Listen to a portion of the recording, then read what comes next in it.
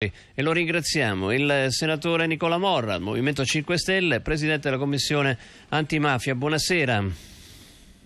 Buonasera a lei e buonasera a tutte le ascoltatrici e a tutti gli ascoltatori. Allora, noi abbiamo appena sentito il senatore Grasso che ha giudicato in maniera molto dura no, questa decisione della Corte europea dei diritti dell'uomo. Immagino che sia anche il suo giudizio, un giudizio duro.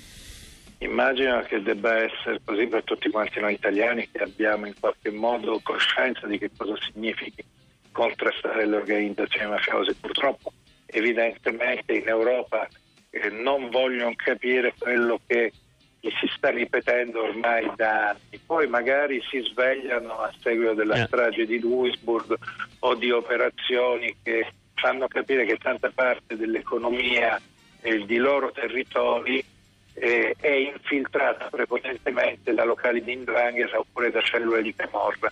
Fatto sta che non si è capito che l'ergastolo ostativo viene concesso solo, viene dato solo e soltanto a chi non manifesta in modo alcuno volontà di collaborazione con lo Stato. È come se, mi permetto questa metafora, durante una guerra, perché quella con le mafie è una guerra, un esercito, dopo aver fatto prigionieri 200 nemici, passati 6 mesi, passati 12 mesi, prenda e consegni questi prigionieri all'esercito nemico. Normalmente queste operazioni si facevano quando c'erano scambi di prigionieri o quando questi prigionieri dimostravano la volontà di abbandonare quel fronte avverso.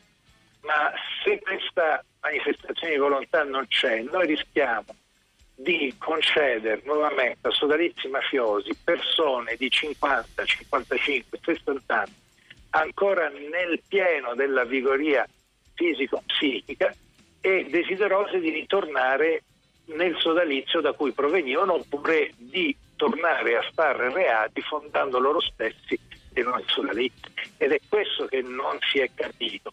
Però mi domando fino a che punto sia stata nostra responsabilità, nostra di noi italiani, nel non farci comprendere e al contrario in che misura sia stata l'insensibilità a fronte di certi temi, anche perché ricordando sia l'ostinazione con cui Giovanni Falcone volle l'approvazione dell'articolo 4 bis dell'ordinamento giudiziario, quello che appunto impone l'ergastolo stativo, sia la richiesta avanzata nel famoso papello di Rina che chiedeva appunto che venisse trasformato l'ergastolo perché di quello hanno paura i mafiosi, evidentemente non avendo memoria e coscienza di questi passaggi della nostra storia criminale ma anche politico-giudiziaria degli ultimi decenni, la CEDU nella sua Gran Camera ha deciso rigettando il ricorso proposto dal governo italiano a giugno passato.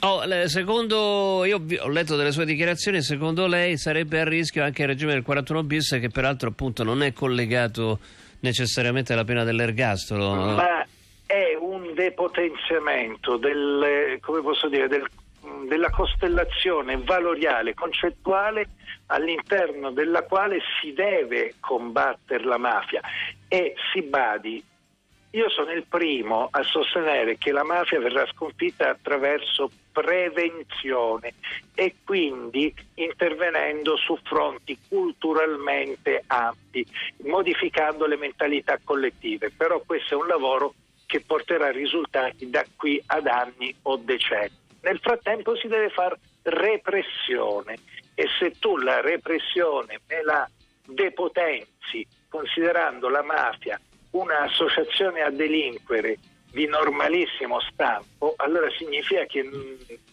tutta la specificità che noi italiani attribuiamo al 416 bis, al codice antimafia, alle interdittive antimafia, che sono misure amministrative e non giudiziarie, significa che non è stato ben compreso a Strasburgo.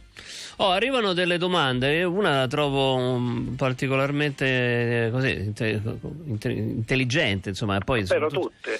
Sì, no, questa, questa sì, qualcuna sì. qualcuna di meno. Ma allora eh, Gianni che domanda, ma quali sarebbero le conseguenze se l'Italia non ottemperasse alla sentenza che lui definisce ridicola eh, della Corte europea dei diritti dell'uomo? Cioè, che conseguenze adesso, ci sarebbero? Adesso noi dobbiamo immediatamente ragionare per come giuridicamente parare il colpo.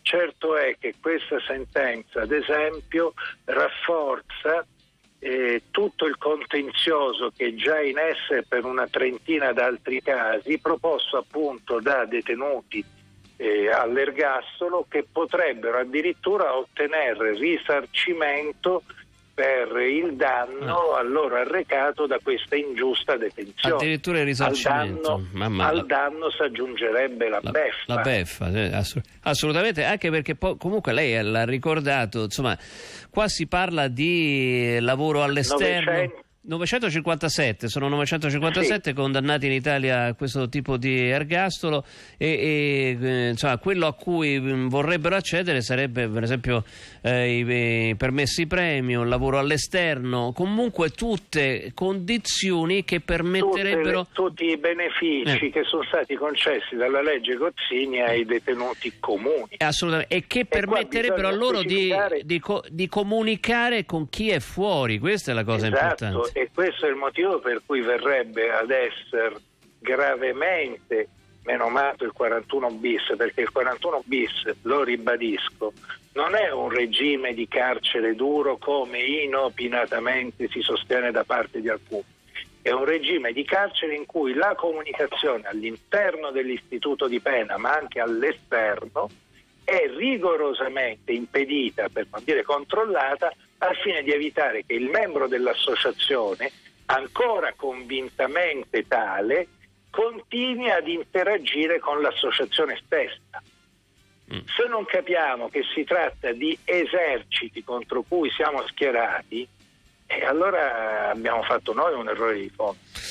Ecco, però comunque eh, lei dice viene, viene, depotenziato tutto questo, ma insomma lo Stato italiano potrebbe ancora fare qualcosa? Perché insomma questo tipo di decisione... Guardi, si cercherà di farlo, fatto sta che la Grand Chambre risulta essere una sorta di corte di Cassazione della CEDU, per cui qua bisognerà investire il Consiglio d'Europa, che è tutt'altra cosa rispetto all'Unione Europea, e al Parlamento però del problema, anche perché ormai in Slovacchia, in tanti paesi del vecchio est europeo, a Malta, in Olanda, in Francia, in Belgio, in Germania, eh, dovrebbero aver capito che con l'andrangheta, con la camorra, con Cosa Nostra non si scherza, salvo poi accettare magari ben volentieri quei capitali che fuggono dall'Italia e vengono eh, investiti altrove perché magari altrove fanno gola.